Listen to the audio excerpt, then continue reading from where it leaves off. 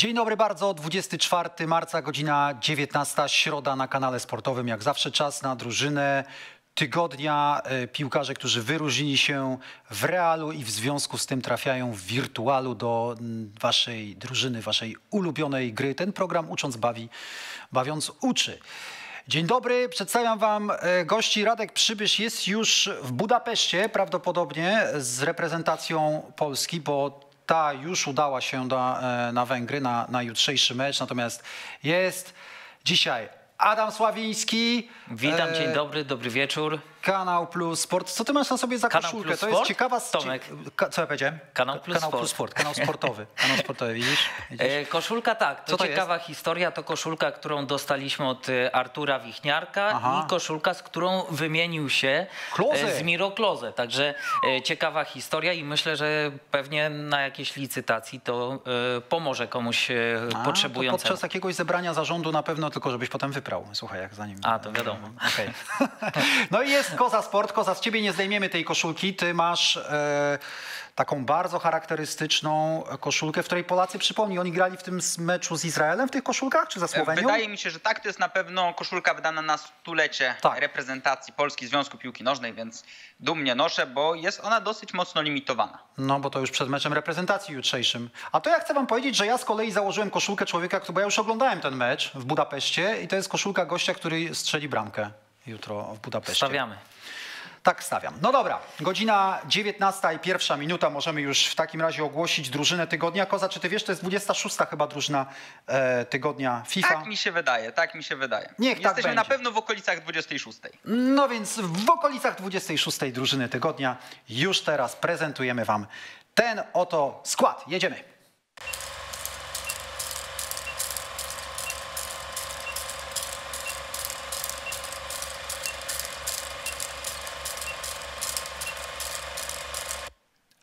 W ostatni weekend wyróżnili się i trafiają do naszej drużyny tygodnia oczywiście Bunu, oczywiście Marquinhos, Klos, Ginter, Gnabry, Nabil Fekir, Çalhanoğlu i piłkarz z Hamburga z drugiej ligi niemieckiej Leibold. Dalej Karim Benzema, Dries Mertens, jest Andre Silva, jest Cud, jest Dest, bardzo skuteczny w Barcelonie, Ruslan Malinowski, Trossard i Romo. I wreszcie tę drużynę tygodnia, uwaga, będziemy mieli malutki polski akcent. Jest Bamford, jest Terrier, jest Montipo, Putkamer, Chouameni, piłkarz Monako, Kobayashi i wreszcie no taki półpolski akcent, bo nie mówimy o Polaku, mówimy o Czechu, ale grającym w Legii Warszawa, być może najbrzydszy w historii czteropak strzelony na boiskach e, świata, ale jest. Cztery bramki Peckhardt strzelił za Głębiu Lubin. Dobra, o Peckhardzie jeszcze chyba dzisiaj będzie. Adaj, zaczynasz siedmiu wspaniałych, twój pierwszy. E, Sam powiedziałeś, że oczywiście, także no oczywiście musi być e, Yasin Bunu, e, inaczej Bono, bo taka jest jego ksywka. Nieprawdopodobna ta historia w meczu Sewilli z Realem Valladolid. Kto nie widział, to naprawdę warto obejrzeć skrót. Ja tak telegraficznie tylko przypomnę, był rzut rożny, ostatnia minuta, wtedy Julen Lopetegi postanowił, aby Bono udał się w pole karne Realu Valladolid. No i po dośrodkowaniu piłka trafiła w słupek po lekkim zamieszaniu w polu karnym. Zawodnicy e, Realu chcieli ją odprowadzić na rzut rożny, ale ostatecznie ona została w polu karnym. E, Po podaniu Kunde trafiła do Bono, no i on został bohaterem tego spotkania. E, Jeżeli chodzi o Sewillę, no to tam od razu wróciły wspomnienia z 2006 roku.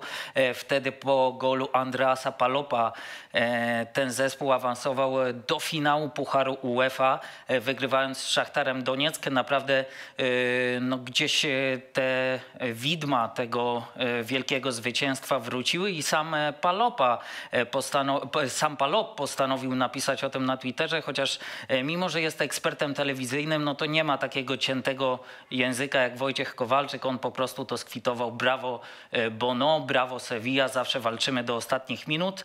E, W ogóle, jeżeli chodzi o gole strzelone z gry w e, historii e, La Ligi, to był dopiero drugi taki gol strzelony przez e, bramkarza. Wcześniej dokonał tego Aranzubia grający w Deportivo w, w 2011 roku. E, Natomiast jeżeli chodzi o samego Bono, no to nie możemy go tylko wyróżniać e, za tego kapitalnego gola i tę piękną historię, którą napisał w ostatni weekend, bo to po prostu kapitalny bramkarz, który ostatnio zadomowił się na dobre w pierwszym składzie tego zespołu, a ta jego droga do niego była bardzo pokrętna. E, Zaczął od zawodnika tak naprawdę rezerwowego, zmiennika Waclika, e, ale bronił regularnie w Lidze Europy i to on doprowadził e, Sewillę do finału. E, Kiedy kontuzji dostał e, Waclik, no to wskoczył ostatecznie do pierwszego składu Sewilli i później e, zanotował, co ciekawe, najdłuższą serię w historii tego zespołu e, bez straconego gora, gola w La Liga, także naprawdę e, duże brawa dla tego bramkarza, ale jeszcze tylko przypomnę, że e, no wcale nie musiał w taki sposób e, zaprezentować się e, ten bramkarz e, w ubiegłym sezonie, dlatego że w jednej 16 finału e, Sevilla mierz, mierzyła się z Kluż i wtedy on tak naprawdę tylko i wyłącznie dzięki Warowi utrzymał miejsce w składzie e, i nie był wielkim przegranym e, tego spotkania, dlatego że w ostatnich minutach tam e, było uderzenie spoza pola, kar, pola karnego z jakichś 20-30 metrów. No i on tam puścił niesamowitego babola, ale War go uratował. Wcześniej było jakieś zagranie ręką i od tamtej pory Julen Lopetegi mu zaufał i, od, i w zasadzie nie popełnił już żadnego błędu, także wielkie brawa dla Bono, bo naprawdę teraz jest e, ostoją defensywy Sewilli, do tego jeszcze obroniony rzut karny w derbach e, z Betisem, także naprawdę kibice kochają tego zawodnika. Duża rzecz, bramkarz strzela gola nogą, wcale nie głową w ostatniej akcji meczu w zespole e, drużynie Valladolid. Być bramkarzem e, w Sewilli to nie jest taka prosta sprawa. Pamiętacie z pewnością Sergio Rico, który siedzi na ławce rezerwowych Paris Saint-Germain. On był przez moment kochany w Andaluzji, ale wystarczyło kilka słabych spotkań i natychmiast został znienawidzony. E, Tak też mają wychowankowie w Sewilli. Tam jest wymagania wobec piłkarzy generalnie są bardzo duże, ale w Sewilli są jeszcze o dwa, o dwa oczka wyższe niż gdziekolwiek indziej. No a być bramkarzem w takim klubie to nie jest prosta Co ciekawe sprawa. też Dmitrowicz Zejbar strzelił gola w tym sezonie jako bramkarz, e, ale z rzutu karnego i właśnie latem ma trafić do Sewilli, także będą już mieli drugiego takiego bramkarza z tego sezonu. Koza, kto u ciebie? E, U mnie piłkarz Bayernu Monachium. E, oczywiście wszyscy spodziewalibyśmy się Roberta Lewandowskiego po kolejnym hat-tricku ze Stuttgartem, ale no tak jak mówię, to w zasadzie co tydzień. Gdyby Lewy miał dostawać informa za każdy dobry występ, widywalibyśmy go tutaj co tydzień, co raczej mijałoby się z celem. Dlatego z Bayernu wyróżniony został Serge Gnabry. W tym spotkaniu zdobyta bramka, w tym spotkaniu zdobyta asysta. E, No i właśnie chciałbym pomówić o tej cieszynce, którą Serge prezentuje nam na swojej karcie, czyli cieszynka nazywana We Steering, e, czy Steering. Em, Zapożyczył on, tak jak wielu piłkarzy w obecnych czasach, tę cieszynkę z NBA, ponieważ Serge zafascynowany jest ligą amerykańskiej koszykówki e, i no, ta cieszynka, ta celebracja została wprowadzona do mainstreamu przez Jamesa Hardena, który po oddaniu buzzer beatera, jak, nie pamiętam w jakim meczu, ale chyba wtedy zrobił to po raz pierwszy. No i właśnie Serge'owi strasznie się to podobało. E, Tak więc wiemy skąd Serge Gnabry wziął swoją cieszynkę, a pytanie skąd wziął ją James Harden. E, Bleacher Report przeprowadził dochodzenie w tej sprawie. E, Nie jest to informacja w 100% potwierdzona, ale bardzo E, Konkretne ślady prowadzą nas do piosenki e, rapera z Houston, który właśnie w swoim kawałku, którego pozwolicie, że nie będę wam przytaczał, bo wtedy ten materiał musiałby pójść grubo po 22, em, właśnie prezentował ten gest, więc e, James Harden właśnie grający dla Houston, zafascynowany tą piosenką, tym ruchem, e, zaczął go wprowadzać do, e, po, po swoich wielkich zagraniach. Steph Curry tak samo pokazuje ten, ten e, gest, no ale w piłce nożnej e, Serge Gnabry jest z tego najbardziej znany, on sobie to wziął, e, no i ma okazję dosyć często go wykonywać grając dla Bayernu. Swoją drogą karta bardzo ciekawa, e, tylko ja cały czas przyznam szczerze, tego nie zrozumiem, jak to jest możliwe, że według tej gry Serge Gnabry jest zawodnikiem tak wolnym. No czekam wreszcie na jakieś wyżej ocenione tempo, bo kiedy spojrzymy na tego zawodnika, to wydaje się on być jednym z najszybszych na świecie, a ta karta na to by nie wskazywała, chociaż poza tym wszystkie statystyki wyglądające naprawdę ciekawie, e, dosyć łatwe do połączenia, więc myślę, że fani Bundesligi może nie na skrzydle, ale w środku pola z dużą chęcią Gnabriego umieszczą jako swoją dziesiątkę, jako tego rozgrywającego, który będzie może wypuszczał Lewandowskiego w wersji Toty, kto wie. Słuchaj, ja myślę, że Gnabry już w przyszłym sezonie będzie taką gwiazdą futbolu, tego prawdziwego futbolu, że analitycy EA Sports nie będą mieli wyboru. Naprawdę podwyższą mu pewne, e, pewne parametry. To się musi No stać. myślę, myślę że jeżeli zaliczy dobry występ na Euro, no, na co się zanosi, to myślę, że mamy bardzo solidnego kandydata, żebyśmy omawiali go w odcinku na temat drużyny roku, bo naprawdę puka bardzo poważnie do drzwi tej drużyny Toty. No to słuchajcie, ja też wam powiem o jednym kandydacie do drużyny roku. Moim zdaniem. Mamy we Francji chyba najbardziej zwariowany, naj, najbardziej wymykający się wszelkim regułom, najbardziej szalony sezon, kiedy cztery drużyny biją się o tytuł mistrza Francji. I akurat mieliśmy taki przypadek w niedzielę, kiedy najpierw grała drużyna Lille, lidera z przedostatnim zespołem tabeli, nim. Gdyby wygrała to spotkanie, to przed wieczornym meczem na szczycie trzeciej i drugiej drużyny tabeli, Lyonu i PSG, miałaby 6 punktów przewagi nad tymi dwoma zespołami. Ale Lille przegrało u siebie 1 do 2, a potem wieczorem walec Paris Saint-Germain z nieprawdopodobnym Kylianem Mbappé przejechał się po Lyonie, było już 4 do 0 po, po godzinie, skończyło się 4 do 2. To nie Kylian Mbappé, a Marquinhos trafia do naszej drużyny tygodnia i myślę, że to jest kandydat do drużyny roku. E, Ja myślę, że on tak po powrocie do domu, po tym, po tym spotkaniu, tym razem nikt mu się nigdzie nie włamywał, co, co ważne, miał spokojny weekend Marquinhos, to tak wyciągnął tak, z jednej kieszeni wyciągnął klucze, paczkę fajek, o ile pali, a z drugiej kieszeni wyciągnął Memphisa Depaya, który był beznadziejny, nie zrobił sztycha w tym meczu przeciwko Marquinhosowi. Bez wątpienia jest to jedna, czy ja wiem, z czterech najważniejszych postaci Paris Saint-Germain. Myślę o Kylianie Mbappé, trochę mniej o Neymarze, który jest głównie kontuzjowany, trochę nawet mniej o Di Marii, na pewno w pomocy rządzi Verratti, na pewno w bramce Keylor Navas, a liderem całej defensywy jest to nie ulega żadnej wątpliwości. Właśnie Brazylijczyk Marquinhos, który stał się takim naturalnym następcą Thiago Silva, który latem odszedł do Anglii. Marquinhos przejął przy, y, po nim też opaskę kapitana. I chcę wam właśnie powiedzieć kilka słów o tym byciu kapitanem w zespole Paris Saint-Germain, czy byciu kapitanem w ogóle w przypadku całej kariery Marquinhosa. Bo to jest chłopak, który jest jak jak wzorowy uczeń.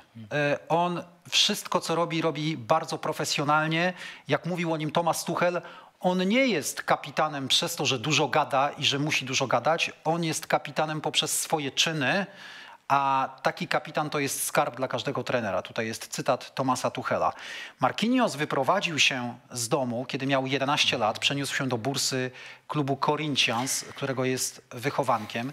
Jego ówcześni trenerzy mówią o nim tak, że e, był najbardziej profesjonalnym, a chociaż jeszcze ciągle małolatem, chłopcem wśród wszystkich. I trener ze szkółki powiedział o nim tak. "E, Kiedyś wybieraliśmy kapitana drużyny. Każdy chciał zostać kapitanem, każdy się zgłaszał, ale potem okazało się po przeliczeniu głosów, że kapitanem został Marquinhos i wszyscy przyjęli to z pełnym zrozumieniem, bo wiedzieli, że w zasadzie to innego kapitana być nie może, że tylko Marquinhos się na to nadaje. Inny jego kolega z tamtej drużyny, tamtej, z tych 15-latków, 16-latków Corinthians, opowiada o tym, jak Marquinhos, był taki turniej, kiedy Corinthians grało z chłopcami 15-latkami z Barcelony. I Marquinhos, który zazwyczaj dużo nie mówi, wtedy stanął przed nimi i zaczął opowiadać im, przeczytam wam, przed meczem z Barceloną wygłosił w szatni taką przemowę, mówił o naszym dzieciństwie, że doprowadził nas wszystkich do łez.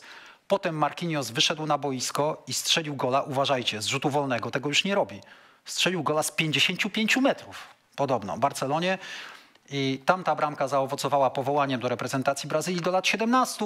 Potem wyjechał. Przecież on swego czasu przechodził z Romy do Paris Saint-Germain jako najdroższy ówczesny nastolatni piłkarz e, w historii futbolu.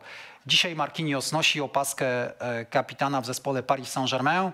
Zbliżają się ważne mecze. Ten początek kwietnia będzie kluczowy. Najpierw spotkanie z Lille, czyli z niedawnym liderem, obecnego lidera Paris Saint-Germain, a kilka dni później wpada na Gnabriego i na Lewandowskiego. Zaczyna się poważne granie e, w Champions League. Paris Saint-Germain, Bayern, Monachium. Marquinhos z naszej drużynie tygodnia. Adam, wracamy do ciebie. U mnie będzie to tym razem Rusłan Malinowski, Atalanta Bergamo, a więc zawodnik, którego ja tak naprawdę śledzę od e, początków kariery, a więc od tego spotkania, kiedy Zoria Ługańsk e, przegrywała w czwartej rundzie eliminacji Ligi Europy z Legią Warszawa. Wtedy to e, najjaśniejszym punktem tego zespołu za Henninga Berga, bo wtedy Henning Berg był trenerem Legii Warszawa. Najjaśniejszym punktem Zori był zdecydowanie Malinowski. To atomowe uderzenie lewą nogą, on już wtedy to miał i też przypominam sobie na stadionie przy Łazienkowskiej pokonał Duszana Kucjaka. Co prawda akurat gol nie był zbyt ładny, po rzucie wolnym, ale tam duży błąd całej defensywy, muru, samego Duszana, także tutaj akurat nie było tego pięknego gola, z którego słynie e, Rusłan Malinowski. Ogólnie e, trzeba powiedzieć, że do Zori on był tylko wypożyczony z Szachtara Donieck. E, zawodnikiem Szachtara teoretycznie był od 2006 do 2017 roku, a więc można powiedzieć, że całe lata, z drugiej strony nie zagrał tam żadnego spotkania w pierwszej drużynie. Był w drużynach młodzieżowych, był w zespołach drugim i trzecim tego, tej drużyny, bo też trzeba przypomnieć, że oni nie mają tylko rezerw, ale tam tych młodych zawodników jest tyle, że stworzyli aż trzecią drużynę. E, no ale Mircea Luczesku od początku go nie widział e, w swoim zespole, nie stawiał na tego zawodnika, chociaż e, wielu mówiło, że to olbrzymi błąd, bo tak naprawdę ma niesamowite umiejętności, kapitalne strzały z dystansu, bo tym legitymował się od samego początku.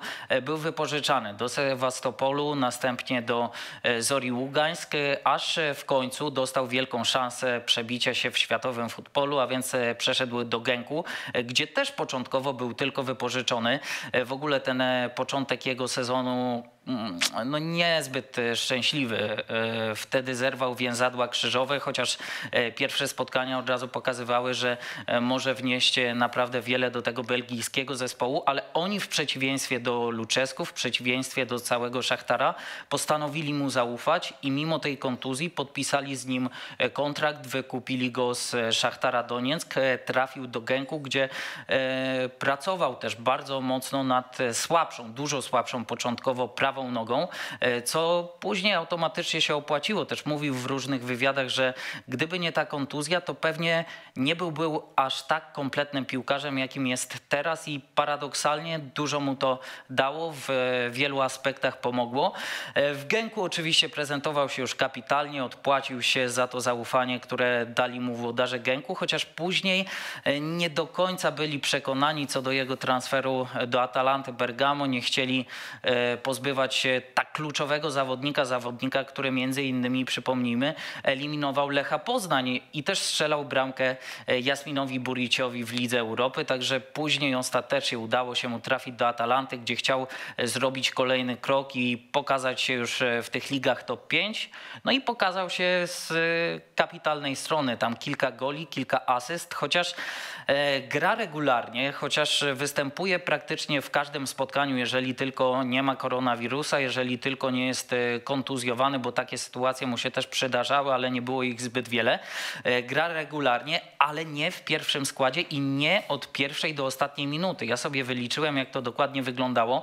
W Serie A 50 meczów i tylko w czterech spotkaniach zagrał od pierwszej do 90 minuty, także e, mimo to jednak ma bardzo dobre liczby i jest kluczową postacią w kadrze Andrija Szewczenki, bo też dopiero to Szewczenko e, zaufał mu w 100% i stworzył e, z niego jednego z liderów kadry, bo wcześniej Fomienko jednak e, nie był przekonany co do tego zawodnika. Widać, że tam na Ukrainie gdzieś miał bardzo duże problemy z tym, żeby udowodnić swoją wartość. Jeżeli chodzi o Donieck, stamtąd wywiózł swoją ksywkę, a więc John Travolta. Tutaj możecie sobie spojrzeć od razu na jego miniaturkę, zerknąć, czy to podobieństwo rzeczywiście jest.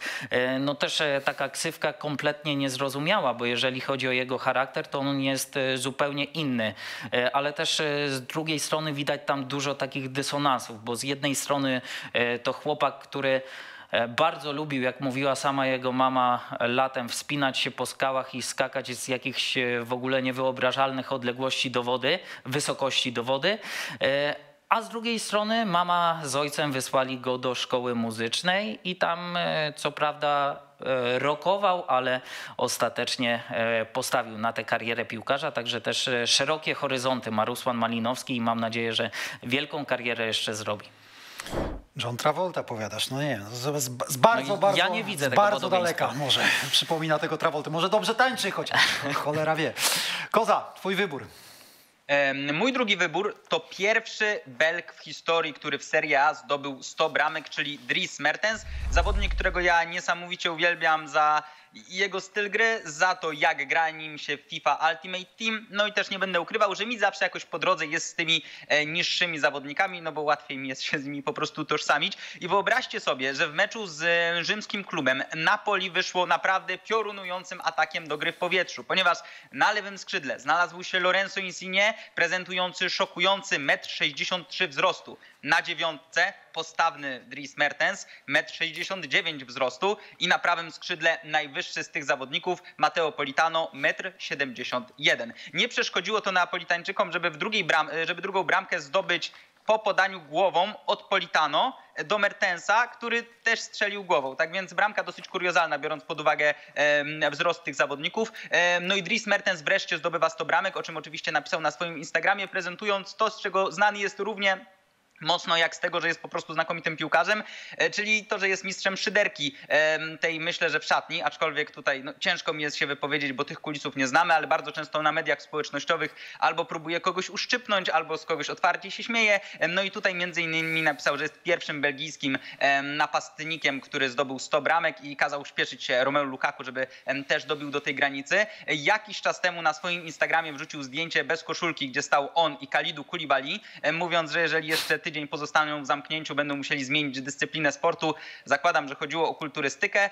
No i też zaczepił André Petanie pytaniem, y, gdzie jesteś, ponieważ to był jeszcze ten czas, kiedy Petania e, w koszulce Napoli prezentował się Tomku dużo gorzej niż ty. Jak zauważyłeś, te koszulki bardzo mocno uwypuklają e, mięsień piwny, no i u Petani było to bardzo mocno widać i, e, i, i też z tego e, Dries Mertens e, sobie żartował. Ogólnie to jest taki atmosferowicz, ale dający wiele na boisku, także w reprezentacji Belgii, e, ponieważ w meczu z Romą strzelił bramkę z rzutu wolnego e, i jakiś czas temu Anglii właśnie w stroju reprezentacji Belgii strzelił gola, który został uznany bramką roku, także było to uderzenie z rzutu wolnego. Jeżeli chodzi o przygody reprezentacyjne, to oczywiście wiemy, że jakiś czas temu wszystko było pozamykane, więc Dries Mertens wziął także maszynkę do ręki i został fryzjerem między innymi Vertongena. Tak więc gdzie się pojawia, tam jest lubiany. E, bardzo duży też widać jego, bardzo duże też widać jego zżycie z Neapolem, ponieważ e, naprawdę piękne wspomnienie e, napisał o Diego Maradonie, kiedy ten odszedł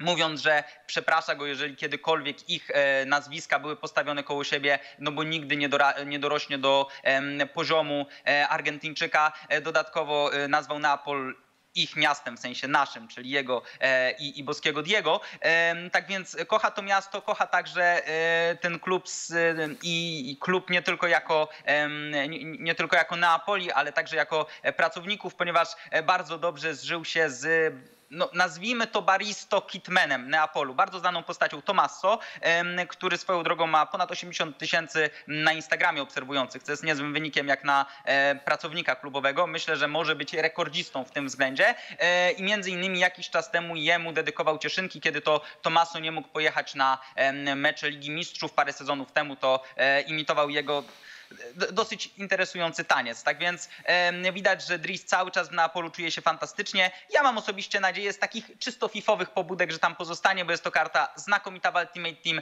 Jako, że jest Belgiem, łatwo się łączy e, z innymi klubami tak więc e, i z innymi ligami. Tak więc Dries Mertens na pewno jest też tym, na którym warto zawiesić oko, jeżeli chodzi o tę drużynę tygodnia.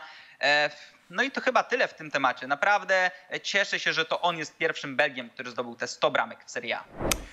E, To prawda. Dries, Dries Mertens, najskuteczniejszy piłkarz Napoli w historii. Gdzie mu tam Maradonie do niego pod względem bramek? Słuchajcie, to jest koszulka Arka Milika. Ona rzeczywiście to są koszulki, które bardzo mocno przelegają. One są trochę jak kombinezony e, takich nurków. Ona po zdjęciu jest Ja wiem, taka. Taka, naprawdę nie za wielka. To ja jestem ciekawy, jak wygląda koszulka Drisa Mertensa, bo to prawdopodobnie wygląda jak, taki, jak taka malutka, co się ją wiesza pod, e, czasami pod lusterka. No myślę, Tak- że my nie być. najlepiej byśmy w nich wyglądali. Słuchajcie, szybciutko ja przejdę do swojego zawodnika. Znowu będę w lidze francuskiej. Nie Hans Klos, a Jonathan Klos. Opowiadałem wam najpierw o piłkarzu, którym uchodzi za wzór e, wszystkich cnót. Marquinhos. Natomiast Klos to był piłkarz, który przez całe lata uchodził za, miał opinię jak w szkole, zdolny, ale leń. Sam Jonathan Klos opowiadał, że e, dla niego odpowiednie, odpowiednie jedzenie, nawadnianie, sen, przyjechać wcześniej przed treningiem, zostać dłużej po treningu, żeby się oddać w ręce e, maserów. A po co? W ogóle nie miał w sobie żadnej higieny sportowca. To jest wychowanek zespołu Strasburga i kiedy w 2010 roku, tuż przed 18 urodzinami, e, klub nie zdecydował się z nim podpisać zawodowego kontraktu, to Jonathan Klos przez następnych, no ile? 10 lat błąkał się po klubach, niższych klubach ligi i francuskiej i ligi niemieckiej. Strasburg to jest, to jest miasto bardzo blisko niemieckiej granicy. Latem roku ubiegłego Jonathan Klos przeszedł z drugoligowej Arminii Bielefeld do ówczesnego Beniaminka francuskiej ekstraklasy, do Lens. No i nagle wszystko się zmieniło. Chcę wam powiedzieć, pewnie to nazwisko niewiele wam mówi, ale Jonathan Klos to jest absolutne objawienie tego sezonu francuskiej ekstraklasy. To jest piłkarz, który ma w klasyfikacji bardzo rzetelnego dziennika, bardzo rzetelnej gazety L'Equipe, to jest pierwszy piłkarz Ligi Francuskiej. On wyprzedza wszystkich zawodników całej ligi z całą armadą zawodników Paris Saint-Germain e, na czele. E, Na pewno pomaga mu fakt. To jest prawy obrońca, który ta drużyna gra e, z zespołem, e, gra w systemie wahadłowych. I jemu ta pozycja wahadłowego bardzo pasuje, bo on jest rzeczywiście może biegać e, bez przystanku. Na swojej pozycji też w defensywie nie dał się e, w tym sezonie, w cudzysłowie, zjeść żadnemu zawodnikowi drużyny przeciwnej, a grał między innymi przeciwko Neymarowi i wypadł dobrze w tym meczu przeciwko Paris Saint-Germain. I chcę wam powiedzieć tak, Lens w ostatnich dziewięciu spotkaniach, Beniaminek, ma bilans czterech spotkań, pięciu remisów, ani jednej porażki, a sam Jonathan Klos ma bilans ośmiu ostatnich spotkań taki. Dwie bramki i pięć asyst. A dwie asysty zaliczył i dlatego właśnie trafia do naszej drużyny tygodnia. Spójrzcie, właśnie przeciwko Strasburgowi, czyli właśnie przeciwko drużynie, w której się wychował. Lens wygrało mecz na wyjeździe 2 do 1. E, Kiedy już on już wspomina, jak po meczu mecz się skończył, on stanął w strefie wywiadów. Nie wiem, jak w tej chwili są robione wywiady we Francji, pewnie i tak muszą zachowywać poważny dystans.